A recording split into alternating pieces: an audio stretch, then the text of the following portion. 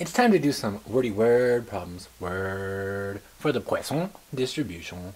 And here we go. A commuter airline receives an average of 9.7 complaints per day.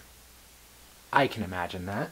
Using the Poisson formula, find the probability that on a certain day this airline will receive exactly six complaints. Let's go to the boards. Fight or flight? It's the airline example. Oh boy. We're finding the Poisson probabilities with the formula, the probability of the x occurrences given a usual occurrence to the x e to the minus lambda divided by x factorial.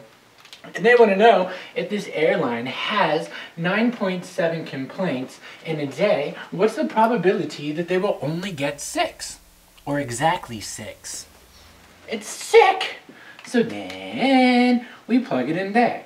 The probability of six complaints exactly is gonna be 9.7 to the sixth power e minus to the minus 9.7 divided by 6 factorial.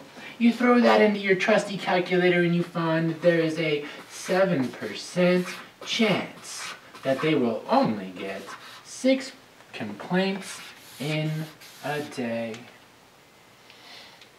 That example really took off.